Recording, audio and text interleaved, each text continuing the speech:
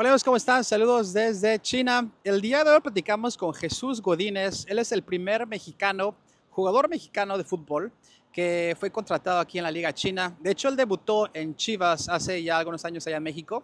Después estuvo moviendo a otros equipos, estuvo en Costa Rica y recientemente, a inicios de este año, pues es que ya se hace parte del equipo de aquí, de Nantong. De hecho, aquí tengo el escudo. Y bueno, pues nos cuenta su perspectiva, cómo es que China lo ha acogido el equipo y más o menos las similitudes que existen eh, en, cuanto al fútbol, diferencias tal vez, el fútbol de China y el de México. Así que bueno, pues vamos a escucharlo, que estén bien, saludos. Hola amigos, ¿cómo están? Saludos desde la ciudad de Shanghai. El día de hoy estoy aquí con el buen Chuy Godínez.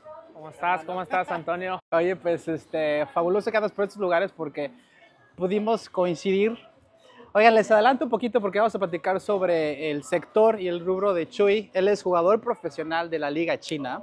Entonces, pues por ahí seguramente hay muchas dudas sobre, eh, no sé, las comparaciones de cuando tú estabas trabajando, digo, eh, pues sí, trabajando, digamos, este, jugando profesionalmente en México, con lo que ahorita haces aquí en China, ¿no? Pero bueno, vamos a platicar sobre eso, platicamos sobre eh, cómo la llevas aquí a nivel cultural. Ok. Y, este, y bueno, por los últimos, ¿qué? Dos años, un año, por ahí llevas, ¿no? Sí, sí, sí. Muy bien.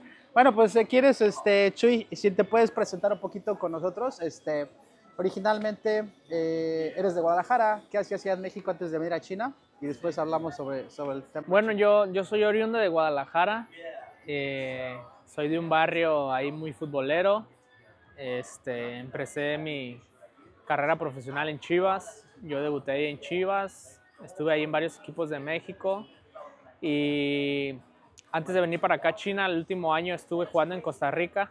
Ah, sí, por ahí vi Costa Rica. Equipo, un equipo que se llama Herediano. Y la verdad que me fue muy bien.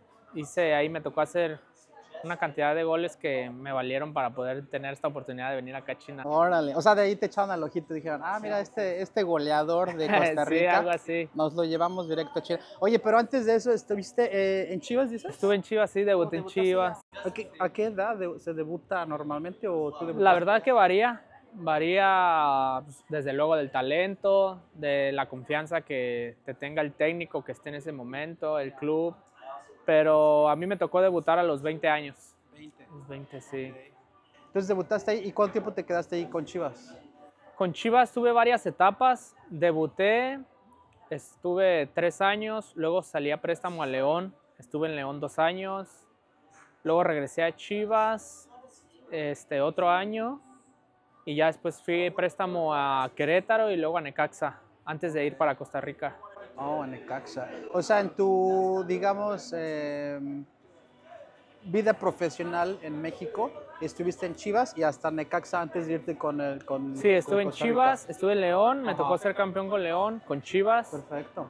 Este, estuve en Querétaro, estuve en Necaxa y, y ya después me fui para Costa Rica. Oye, súper bien. ¿Y qué tal en Costa Rica? ¿Cuánto tiempo estuviste? Un año, estuve un año y la verdad espectacular. ¿Sí? Sí, sí. ¿Qué te gustaba más? La vida, la vida, ahora sí que pura vida. Ah, pura vida, ¿no? Así como Sí, dicen. sí, sí. Ajá, ok, este, una- un año. Normalmente cuando, digamos, los contratos estos eh, que tienen a un nuevo jugador van como que de año a año a año, así como que se van reanudando. Varía, varía, pero sí son contratos de años, por lo regular dos, tres años. Y obviamente en el intermedio de ese contrato te puedes mover a otros equipos, siempre y cuando pues, ambas partes estén de acuerdo. Pero por lo regular sí son contratos de dos, tres años. Oye, y en esa temporada de Costa Rica, este, ¿fuiste goleador? O sea, estuviste... Sí, fui, Órale, fui goleador ¿cuántos- de... Metí 16 goles y me, no me parece mal ese, ese torneo. Ajá, Sí, sí, me tocó ser goleador. wow, ok. Y entonces estuviste en Costa Rica y recibiste, digamos, de alguna manera la invitación de la Liga Sí. China, ¿o ¿cómo fue la transición? Sí, cuando estaba por terminar ahí la, la temporada con Costa Rica, ahí se acercaron a mí y a mi agente un- una persona china que si no nos interesaba venir para acá y la verdad es que al principio estábamos como un poco herméticos de saber si era realidad o No no. vaya a ser un scam. Exacto. Así no vaya a ser. Exacto, y ahí como que poco a poco el, el agente chino pues nos fue demostrando que era, era serio y pues ahí fue, se fue viendo la negociación y ahora Ok. estamos acá. Y esa gente estaba en Costa Rica. No, estaba, es chino, estaba acá en China. O sea, fue a distancia la negociación. Sí, fue a distancia, así es. Se pusieron en contacto por, por teléfono y ya, pues, Él hablaba español. no, en inglés. En inglés con tu gente de allá y con la gente china. Ok. Y después la persona encargada en México te fue diciendo, oye, se me hace que... Sí, yo tengo un agente que es el que se encarga, pues, de, de mis movimientos, de mis traspasos. Y pues él fue el que llevó toda la negociación y pues sí, él fue el que me iba diciendo, ah, mira, me mostró esto, ya me demostró una propuesta formal del club, vamos a hacer una llamada con alguien directamente del club y así fue, así fue como nos fuimos dando cuenta que iba en serio. Wow. Me imagino que en el momento que, como dijiste, a ver, te empezaste ya como que a visualizar que realmente era una oferta, pues bien, o sea, hecha y derecha y todo. eh, empezaste a jugar con la idea de que, ok, bueno, puede ser que sí vaya a China y eso. ¿Te acuerdas en el momento que ya tomaste la decisión? ¿Cómo, cómo fue? Bueno, es que la verdad no nada más tenía esta oferta de China, estaba ahí la posibilidad de ir a, a Corea o quedarme en Costa Rica, pero en otro equipo, Ajá. Que también, o ahí mismo en el equipo en el que estaba en Costa Rica. Eh, entonces ahí con mi esposa y mi familia pues empezamos a plantear como de que a ver, Sí, pues sí, están sí, estas opciones y así. Y obviamente pues no fue fácil porque pues es literal al otro lado de tu, de tu gente. Sí, ¿cómo saber si es la decisión correcta? va? Exacto, pues, una, una aventura, ¿no? Eh, Iba a ser un reto. Ajá. Y la verdad, pues creo que tomamos la decisión correcta porque estamos muy felices, no, no me arrepiento para nada Ajá. y pues espero que sea mucho tiempo más. Claro. Oye, y cuando estabas, digamos, entre quedarte allá o ya venirte a este lugar del mundo, entre Corea y China, ahí había gran diferencia, digamos, de... Lo que pasa que se tomó la decisión o se tomó, se optó por venirse para acá porque aquí me presentaron como tal la oferta formal y allá solo estaba como el interés de palabra. Entonces, Como que vean, entrenamos, jugamos y ahí vemos que. No, pues estaba como que no, sí, hay interés, como esa negociación y acá en China estaba ese interés, pero estaba la oferta como quien dice en papel ya puesta. Ah, Entonces, pues ahora sí que era pues, ir a lo seguro. Entonces, así fue. entonces ya dijiste, ¿sabes qué? Pues vámonos. Sí, pues yo hablé con mi esposa y le dije, bueno, pues va a ser una aventura totalmente diferente. Este, no, no sabemos lo que nos espera, pero pues ese es lo bonito de pues, un nuevo reto. Era un nuevo reto y la verdad O sea, una familia aventurera. Así es. Oye, qué padre. Y este, eso fue eh, a inicios de este año, ¿cuándo fue exactamente? Sí, en enero fue En cuando enero yo 2024. me vine para, para China. Ok, entonces las preparaciones fue de que, bueno, pues ya nos vamos a China, este, ¿cómo lo hacemos? ¿Rentamos un lugar? Este, ¿Ya te dan departamento? ¿Cómo estuvo eso? Sí, eh, cuando yo me vine de recién, me vine yo solo, mi esposa se esperó precisamente por, por ese tema de Ajá. que no sabíamos cómo iba a Sí, sí, estar todo. Sí, para yo primero, este, como establecerme donde íbamos a estar, ver más o menos cómo está el entorno, porque obviamente uno tiene una imagen de China allá Sí, sí, y sí. no sabe realmente lo que es. Entonces, uno en esa ignorancia o desconocimiento de saber, optamos por que yo me viniera primero. Me vine yo primero con mi agente y estuvimos primero en un hotel y ya pues, inmediatamente en cuanto yo eh, tuve la oportunidad después de entrenamiento o así, empezar a buscar un apartamento y así. Y ya en cuanto quedó eso listo, pues ya mi esposa se... Así le dijiste, ¿sabes qué? Como que creo que sí, sí te va a gustar. Oye, ¿tu primera impresión cuando llegaste a China? No, pues, ¿Cómo que? literal otro, otro mundo, casi casi. A mí me han volado, me han volado la cabeza muchas cosas, pero la verdad es que está impresionante lo, lo avanzado que está y lo rápido que está creciendo por acá. ¿Y llegaste a Beijing, a Shanghai o tú fuiste directo a Nantong? No, volamos para acá, para Shanghai, y ya de aquí tomamos un tren, un tren rápido para Sí, de aquí a, Nan- a Nantong, ¿no? Rugao. Rugao. Sí, ahí Rugao es una hora y media, una hora cuarenta en tren. Ok. Ah, bueno, entonces está súper bien. Ah, entonces ya veniste, te quedaste así como que, oh, wow, o sea, la verdad sí, no me esperaba ese tipo de... No, y luego aquí a Shanghai, que la ciudad está espectacular, la verdad que Ajá. De hecho, ahorita estamos aquí en Shanghai y este, le digo eh, al buen Chuy, oye, pues este, ahorita que estamos acá aprovechar y fuimos a comer aquí un lugarcito. Hay varias opciones, la verdad, hay como que- Bastante. hay muchas opciones. Sí, la verdad que, por ejemplo, allá donde nosotros vivimos en Rugao, pues no, no hay cocina extranjera o, o tantas opciones a lo que estamos acostumbrados. Ahora sí que es cocinarnos en la casa o comida china, comida local. Pero pues, cuando venimos a Shanghai sí tratamos de Sí. aprovechar para salir un poquito allá de...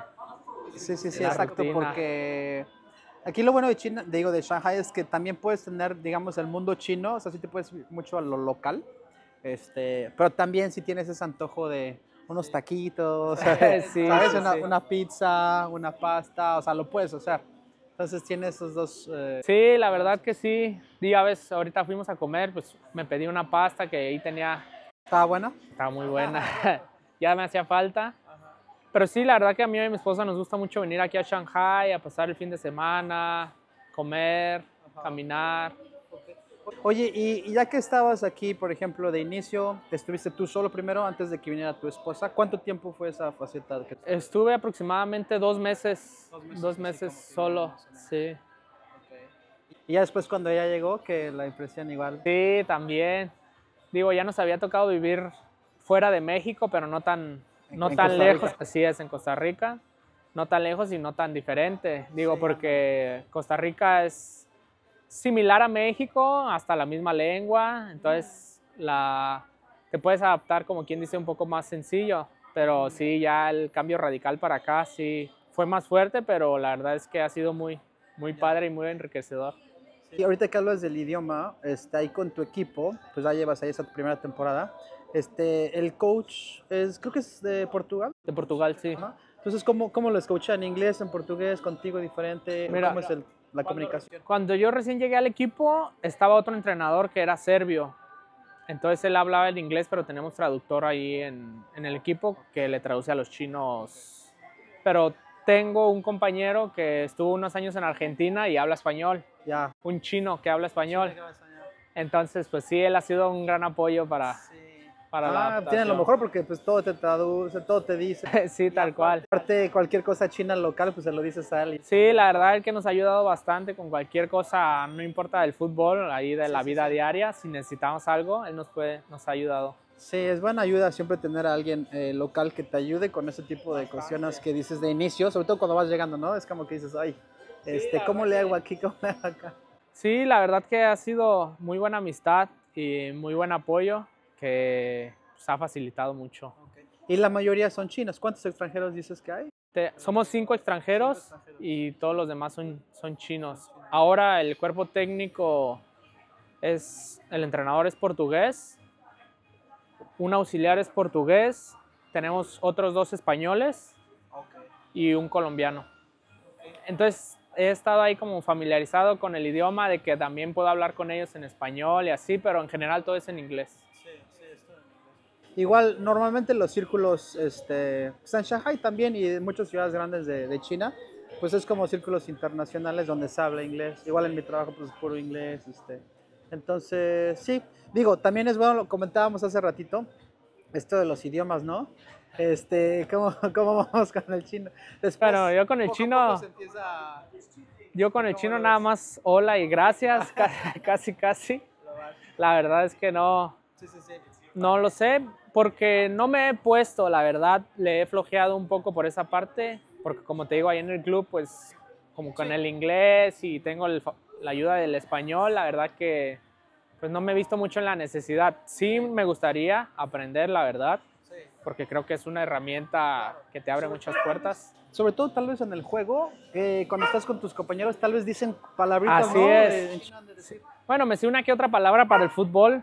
Que me, que me sirva ahí para con los compañeros chinos, que es como Pásala, melo, melo, que, que está solo, que Melo, melo. Ah, ok. si le paso el balón como melo, melo, está solo, solo. Ajá. O si le llega un defensa es como la, la, la, la, como Ah, regrésala. o- La, la, la, la. Sí, sí, sí. Pero de ahí en más, la verdad es que no. Digo, digo las palabras de tu trabajo. Así es. Gol, ese es internacional. Gol es gol. Ah, ¿sí? Sí, sí, sí, gol es gol. Sí, me acuerdo cuando estaba viendo la. ¿Cuál fue? Creo que la última Copa del Mundo o algo así. gritaba mucho en las, en las transmisiones. ¡Chunchela! O sea, que se metió el balón a la portería o algo así, sí. Y yo me quedaba, órale, que cómo lo gritan. Pero qué padre. Y bueno, entonces ya después llegó tu esposa, estuvieron acá y se empezaron a acostumbrar un poquito, digo, llevan aquí el primer año. Pero ¿cuáles han sido, eh, hasta ahorita sientes que una de las, de los errores, digamos, que pensabas que era China y que realmente no lo es? Una misconcepción. Algo que pensabas que era de una manera, pero realmente no lo es. ¿Sientes que ha habido algo así? Sí, desde luego que yo tenía un concepto totalmente diferente. Más porque a mí me tocó venir a jugar un torneo hace como unos siete años. Ah. Vine a jugar un torneo y fue a otra ciudad, la verdad no, no recuerdo el nombre. ¿Cómo se llamaba? Bueno, no recuerdo la ciudad en este momento. Y tal vez era como un pueblo o así. Y yo recuerdo que era como nada que ver a como está ahora. Ah, sí, sí, sí. Entonces como que yo me quedé con esa percepción. Así de acá, bueno, como Sí, está como X. Pero no, ahora totalmente es. Sí, el han crecimiento que cambiado han tenido es brutal, la verdad. Yo pensé que me iba a costar un poco más de trabajo con la comida. Y la realidad es que no. Tanto la comida china, no te puedo decir que la como así todo, Sí, sí. porque la verdad es que no. Dejo las patitas de pollo. no me como las Alguna uñas. que otra cosa. Sí. Pero oye, si no, en el súper puedes encontrar perfectamente muchos ingredientes para hacerte platillos como me cocinaba en México o así. O sea, tratan de que te cocinen Sí, así es. pechuguitas de pollo. Exacto. Pescado, Ándale. todo eso, sí. Sí, digamos la dieta de un profesional. Sí, más que nada. Claro, pues sí, sí, realmente, ¿no? Sí, la eso sí he notado como que la, la cocina china como que utilizan mucho el aceite, Ya. mucho, Sí, mucho aceite. Y bueno, yo en mi trabajo sí necesito ponerle un poquito de ojo en ese tipo de cosas. Entonces sí trato de comer mucho en casa, mi esposa y yo nos cocinamos, pero sí una que otra vez salimos ahí a, a comer, ahí a las parrillas, a los Sí, barbecues, sí, sí. así. Ah, hay varios eh, hot pot y barbecue. Sí, hot pot. Oye, ¿cómo ves el tema del, del entrenamiento en comparación al de México? O sea, a nivel físico, ¿lo sientes un poco más fuerte, más tranquilo? ¿Hay gran diferencia? No, la verdad que no, el tema físico no encuentro gran diferencia. Ese tipo de, de cuestiones como del entrenamiento depende mucho del entrenador. Entonces, en este caso es un europeo, entonces sí está como muy Ah, similar al, muy similar a lo que tiene lo que tiene México. Lo que sí vería un poquito diferente ya es el tema más táctico, otro tipo de cuestiones que sí es diferente en México. Creo que aquí son un poco más desordenados tácticamente, si se le pudiera llamar. pero- En México hay un poco más de técnica, pero no, la verdad es que muy bien, muy bien, no, la gran diferencia así no, no lo es. Porque estaba pensando, aquí por ejemplo en la liga china en la que estás, ¿cuántos equipos son? 16. 16 creo, ¿no? Este, no sé, me preguntaría si hay también diferencias entre estos grandes equipos, por ejemplo aquí el Shanghai Port, con Sí. el de Beijing, con... Sí, desde luego, como en cualquier país, pues están los equipos, equipos fuertes. En este caso, aquí en China son los dos de Shanghai, Shanghai Port, Shanghai Shenhua. Está Shandong, que también es fuerte, y pues Beijing, que es de los históricamente grandes, son como los más, los más fuertes que tienen pues los jugadores chinos que van a la selección. Sí, sí, sí, Y son así, como todo los, eso son los de renombre, ¿no? Sí, así es. Y la audiencia, por ejemplo, hace rato me decías que de todas maneras, aunque estás en un lugar relativamente pequeño, de todas maneras llega gente. Sí, en lo particular nuestro equipo la verdad es que es una afición muy fiel, pero bueno, aquí todos los estadios de China son 25 mil, 30 mil aficionados y se llena fácil. Oigan, vean, tengo que agradecer públicamente al buen Chuy que me trajo este de Nantong. Con mucho gusto. Oye, este es el, este es el logo. La El verdad que está bastante bonito, equipo. ¿eh? Y justo me va a quedar bien porque ahorita ya van a empezar los fríos aquí en, en Ya se empieza a sentir un poco más fresco, sí, así Ya, es. Justo cuando llegaste, yo creo en enero, en enero hacía poco de frío o algo así. Demasiado frío, sí. De hecho, hubo un día ahí en Rugao que cayó como nieve también. Y no, es, Ojo, hasta estaba- nieve les tocó. Sí, sí, sí, sí. No es un lugar que acostumbre que caiga nieve, pero ese día bajó tanto la temperatura que hasta cayó nieve. que de hecho no había ni un coche porque estaba Ajá. peligroso, pues. Aquí en Shanghai de repente ha nevado, pero hace, hace algunos años. Sí, entonces la verdad que sí hacía bastante frío. Oye, pues gracias. Entonces son 16 equipos, está este de, de Nantong ahorita. Y en una temporada normal, eh, pues juegan con todos. Más o menos cómo, cómo funciona el, el tipo de ascenso, descenso. Son dos partidos contra cada equipo por temporada, Dos uno, partidos uno contra en, tu, en tu cancha y el siguiente en, en la cancha de 30 partidos más o menos. Y al final de la temporada bajan dos, descienden dos y ascienden dos de, de la segunda. Y el campeón es el que hace más puntos de todo de toda esa temporada. Entonces sí, sí, son muchos. En México, ¿cuántos serían? ¿Cuántos partidos? Lo que pasa que aquí en China se le llama, es temporada larga, que es de todo el año, por eso son 30 partidos. En México son, en vez de ser una temporada larga, son dos torneos, son torneos de seis meses. En México se juegan 17 partidos por cada seis meses, exacto. Son relativamente los mismos partidos Que es cada semana, cada. cada semana. Nada más que en México es otro formato de, de para quedar campeón. Ahí califican, bueno, ahora ya lo volvieron a cambiar porque han cambiado, pero califican, no sé, como 10, 12 y ya entre ellos luego se van eliminando y así. Entonces aquí es por puntos. Es el que haga más puntos, pues tiene los méritos de quedar campeón. Ajá, Y dos suben y dos bajan. Así es. Los dos, los dos finales son los que bajan y los dos que quedaron arriba en la segunda son los que suben a la Superliga. ¿Sientes que ese método está un poco mejor? Sí, la verdad que el hecho de que haya el descenso y el ascenso es lo, lo hace muy competitivo, porque pues esta es la esencia del fútbol, pues esa pasión, ese querer ganar. Y ya más o menos ahorita aquí en tu vida de, de China, además del fútbol, este, ¿hay algún otro, no sé, no te has metido a jugar ping pong o badminton o cosas así en tus, en tus días libres? No, la verdad que en nuestros días libres salimos a caminar, digo, donde estamos pequeño, la verdad, no hay mucho que hacer a comparación de aquí de Shanghai que tienes muchas cosas para hacer. Salimos a tomar una bebida, nos gusta mucho el AT, Oh, ajá. Ah, el- ajá, sí, sí, el H-E-Y. Así es. Nos gusta mucho, entonces que salimos tal vez a tomar un AT, caminar un poco ahí en el centro comercial y así, pero no. Oye, ¿cuál, ¿cuál es tu sabor favorito del Haiti?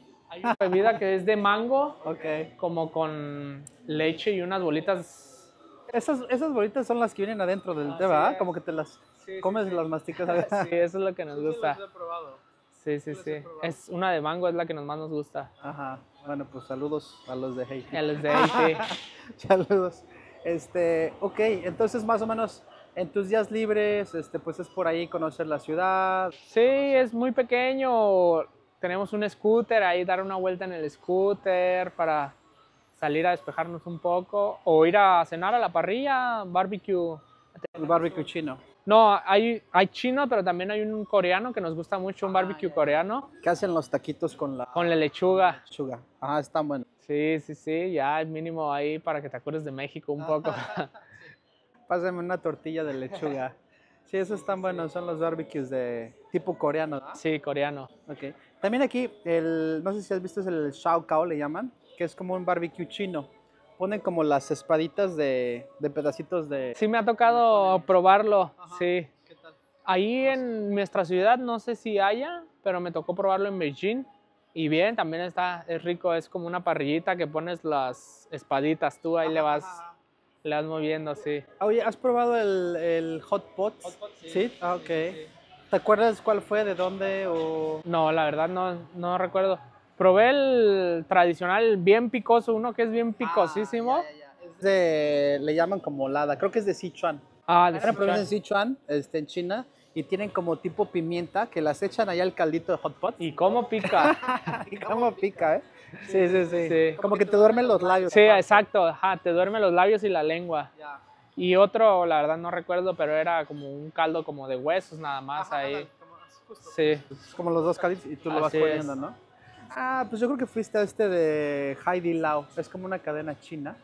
Y cosas, eh, digamos, incluyendo al deporte, o sea, a tu trabajo, al equipo de, de fútbol donde estás, y también incluyendo a nivel cultural, cosas que te han gustado de China, este, que realmente dices, ah, pues eso puede ser un buen hábito que incorpore a mi, a mí, a mi manera de ser, a mi vida, a mi...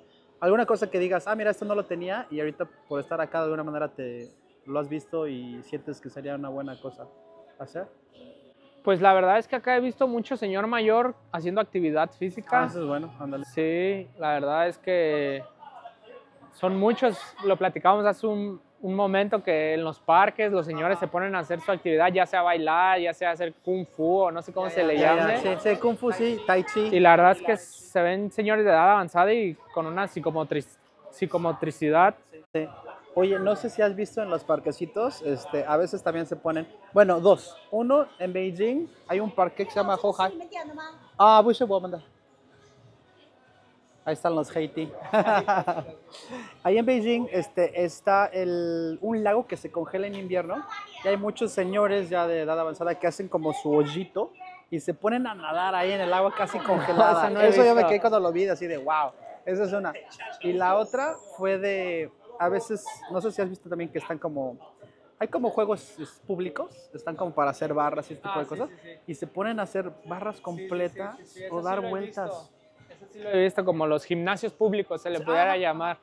Y sí, los señores ahí están, te digo, la verdad que eso es algo que, que es de admirarse. Sí, la verdad sí es de admirarse. Y se ponen también a jugar este, sus cartas o ajedrez, Sí. el ajedrez chino. No sé si los has visto. Ya después te vamos ahí a ver en Ruka. ya después ahí con los señores. Eh, Es que me acordé por el tema de hábito, algo que yo, por ejemplo, he incorporado aquí es tal vez el comer el brunch, o bueno, el lunch a las 12 y luego la cena a las 6. Tú, por parte del trabajo, tienes más o menos este, restringido ciertas cosas o tienes que ser muy, este, digamos, comer a ciertas horas o comer muy en específico. Cambio Eh, de hábitos en ese sentido, si estás... Bueno, sí, sí, la verdad es que cuando me toca comer ahí en el club o salimos a jugar algún partido que es con el club, pues sí, tal cual esos horarios de comer a las o almorzar a las 12 y cenar a las 6 y así, que la verdad pues yo en México no lo acostumbramos, ya ves. La verdad es que yo en casa sí trato como de pues como estoy acostumbrado en México de comer a las 2 de la tarde, cenar ahí a las 8 de la noche así, pero pues, cuando me toca con el club, pues me tengo que adaptar. Es parte de la adaptación. Y una de las cuestiones que tal vez te ha costado un poquito de trabajo adaptarte aquí en China, ¿cuál sientes que sería? Yo creo que el sazón de la comida, pero no porque sea malo, sino como tal el sazón que al menos yo estoy acostumbrado en México, ya es que, que la salsa con chile, que el limón. Así es. Entonces, creo que estoy muy acostumbrado a eso y es como si se le pudiera decir que me cuesta más trabajo. Pero pues no pasa de que yo ahí pida un pedacillo de limón. Oye, después te paso en contacto en Taobao, que pedí este, un kilo de limones y me llegó a... No, de hecho, ahí en, en nosotros vivimos cerca de Nantong y hay un, un Sam's en Nantong. Entonces en Sam's venden limón. Ah, ya, ya, ya. Entonces, al menos en la casa nunca hace falta el limón. Ah, bueno, ok. Sí. entonces sí lo. Sí, pero pues ya cuando me toca salir con el equipo o así, Ajá. ahí es cuando me tengo Oye, que pues, adaptar más. Qué padre que se están este, acoplando aquí, sobre todo porque es una pues, muy buena aventura y vivirla en pareja con tu esposa, en un lugar nuevo, este, lleno de emociones. No sé, hace rato también platicamos de lugares a visitar, ¿no? Porque te permite, ya estando aquí en China, ir a otros lugares y eso. Este, ¿Qué tienes en mente tal vez de, de visitar por estos lugares? Eh, queremos que nuestro próximo viaje sea a Tokio, porque lo tenemos aquí a dos horas y media en avión. Hace poco ya fuimos a, a Seúl. Pero bueno, pues también lo platicábamos, tenemos cerca Vietnam, Tailandia, Singapur, Hong Kong, no conozco Hong Kong ni mi esposa, pues es otra opción para, para conocer. Pero sí, afortunadamente, pues se presta que tienes ahí la movilidad, o incluso aquí mismo dentro de China es tan grande que tienes demasiados lugares para, para visitar. Aquí en la misma China, cuando nos tocó lo de la pandemia del 2020 y no podíamos salir internacionalmente, pues sí, yo ahí como que aproveché para ir a lugarcitos dentro de China. Está Guilin, hay lugares que están como con montañas así súper ricos. o la zona de Shangri-La, Yunnan. Hay varias, como dices, hay... Sí, también una playa muy famosa en el sur, Oh, ¿cómo se llama? Hainan. Hainan, dicen que también es bonita. Sí, la verdad es que hay muchos lugares que nos gustaría también conocer. Qué padre, Chuy, la verdad, este, muy bien, muy bien. Eh, felicidades por todo No, lo que, gracias. lo que llevan logrado y sobre todo porque es el inicio, yo creo, de una, de una muy buena aventura. Es- Esa es la idea, sí, la verdad es que nos ha gustado mucho. Te, queremos quedarnos aquí un tiempo ya, pues tú ya llevas. Sí, ya- no, yo sí ya llevo la, la década. sí, sí, sí, entonces pues significa que es muy bien Algo ha de haber, ¿no? Algo ha de haber. por algo. Entonces, ahorita por inicio llevas un año y, y se- tu contrato es de... Dos. Dos años. Sí, tengo otro año de contrato con opción a extenderlo uno más. Pero sí, la idea es seguir por acá, seguir echando patadas por acá, como quien dice, si la salud nos lo permite, haciendo goles. Eh, pero estamos muy felices, yo en lo personal y pues creo que mi esposa también. Sobre todo impulsar a muchas personas que en México, en otros lugares están viendo la posibilidad de ingresar a este tipo de carreras, ¿no? Que a veces se ven tan alejadas, pero ahora tal vez con más opciones, ¿no? Este, pues, pues, La verdad que uno de mis objetivos personales al, al enterarme que yo fui el primer futbolista mexicano que vino a jugar a la Liga China era como, o es más bien, este, pues dejar muy buena imagen para que pues vean que pueden confiar en el futbolista mexicano para ser la punta de lanza a más compañeros mexicanos que puedan venir a, a participar acá al fútbol de China. Perfecto. Sí, sobre todo porque, como bien lo dices, o sea, eres el primer mexicano en formar parte de esta liga profesional china. Entonces ha de haber este, ciertas, pues no sé, como que expectativas de- en, algún modo, pero también como que mucha curiosidad por parte del- de los eh, dueños de los planteles. Sí, pues como todo es una responsabilidad. pero también es, pues, se siente muy padre que te estén otorgando esa confianza. Entonces, pues uno intenta dar de vuelta o devolver ese, esa confianza que le están brindando. Entonces, pues sí, es, esa es la idea, el que volteen a ver más para allá, para, para México, para ver si se puede brindar más la oportunidad, porque creo que hay mucha calidad y creo que lo pueden hacer muy bien. Dices como para que tal vez vayan a scoutear allá. Sí, para que se animen a contratar más futbolistas mexicanos o técnicos también, porque Claro. ves mucho técnico extranjero aquí en los equipos de China. Entonces, pues técnicos mexicanos por acá, ya que no se les está brindando mucha oportunidad allá en México. Y de ahí como que salte a Europa tal vez. Y no, no tanto Asia. Sí, la verdad que allá en México todos los focos los tenemos pues, en Europa, porque obviamente pues es el nivel top, es, son las grandes ligas. Pero la verdad que acá en el mercado de Asia es una oportunidad muy grande que no nos damos cuenta y que pues, tenemos otra perspectiva que ya cuando lo vives y estás aquí ves que es totalmente diferente y que es una ventana muy grande que se puede aprovechar.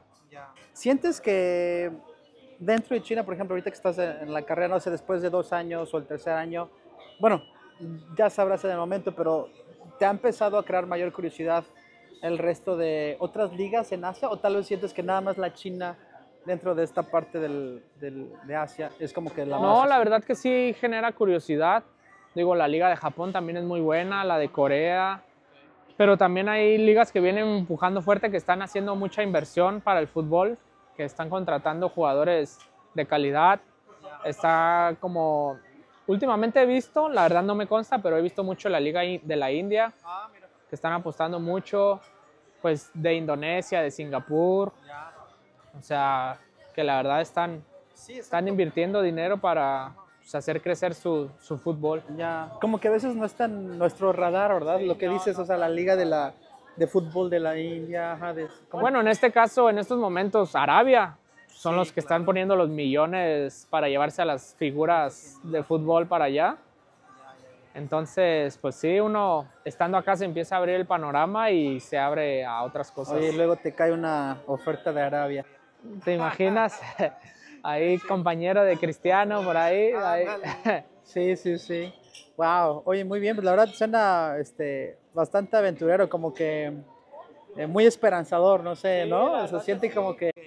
No, es muy bonito, la verdad que yo lo, lo veo todo como, como un reto, una oportunidad muy grande Entonces, pues voy a tratar de, de dar mi máximo para, pues, para aprovecharlo. Ahí nos quedamos, yo creo que con ese mensaje de, de, que la gente vea un poquito más allá de a veces de lo que está en nuestra primera sí. edición, ¿no? Ya sea en el rubro que sea, la verdad que China está abierto para el mundo cada vez más y la verdad que es una ventana y es una, un lugar que te abre puertas a, a literalmente todo. todo. Sí, exacto, o sea, están conectados por todos lados. Entonces, decirles que, que se animen, que abramos un poco más el panorama y que, que no les dé miedo. Que no porque les dé miedo. con la determinación uno puede lograr lo que, lo que quiere. Y aparte, como bien lo dices, no solamente en el rubro tal vez de, de, de fútbol, sino que está conectado en muchos sentidos, negocios. Todo, absolutamente todo. Sí, pues tú lo vives contigo en la universidad, pues tú das clases en una universidad, entonces pues, tú sabes más. entonces, sí, China está conectado al mundo y pues, próximamente el, la potencia mundial. Pues la verdad, eh, un gusto, muchas felicitaciones porque pues la verdad nos llevas a todos en los hombros. Gracias, muchas gracias. Así. No, pues acá que sepan que hay muchos mexicanos como Antonio y otros más que están están poniendo el nombre de México en alto y que se, se, nota que le están echando todas las ganas para, para salir adelante en lo, que, en lo que cada quien se desempeña. Excelente, mi buencho. Bueno, pues eh, saludos por ahí. Eh, si tienen algunas preguntas después al respecto, ahí ponemos las, las redes del buen Saludos, Chuy. saludos para todos. Cuídense, que estén muy bien. Los que estén viendo este video. Próxima. Hasta luego. Chao.